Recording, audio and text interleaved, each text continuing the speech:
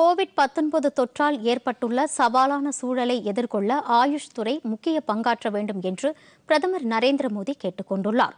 ஆயுஷ் எனப்படும் ஆயுர்வேதா யுனானி சித்தா ஹோமியோபதி துறைகளைச் சேர்ந்த மருத்துவர்களுடன் காணொலி வாயிலாக இன்று பிரதமர் ஆலோசனை நடத்தினார்.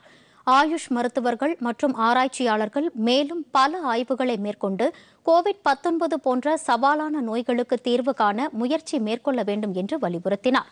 தற்போது இருபத்தி ஓரு நாட்கள் முழு அடைப்பில் அமலில் உள்ள நிலையில் வீட்டில் உள்ள மக்களின் மன அழுத்தம் உள்ளிட்டவற்றை நீக்க யோகா போன்றவை உதவிகரமாக அமைந்துள்ளது என்று கூறினார். பல நோய்களை குணப்படுத்துவதில் ஆயுஷ் துறை மருத்துவத்திற்கு நீண்டகால வரலாறு உண்டு என்றும் தேசத்தின் சுகாதார நலனில் இந்த மருத்துவ முறைகளுக்கு அதிக முக்கியத்துவம் இருப்பதாகவும் பிரதமர் குறிப்பிட்டார்.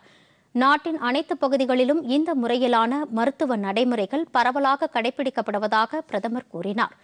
உலக சுகாதார நிறுவனத்தின் அறிவுறுத்தல்கள் அடிப்படையில் கொரோனா வைரஸ் பரவுவதை தடுப்பதில் ஆயுஷ் துறையும் அதிக அளவு பங்காற்ற வேண்டும் என்று பிரதமர் கேட்டுக் கொண்டார்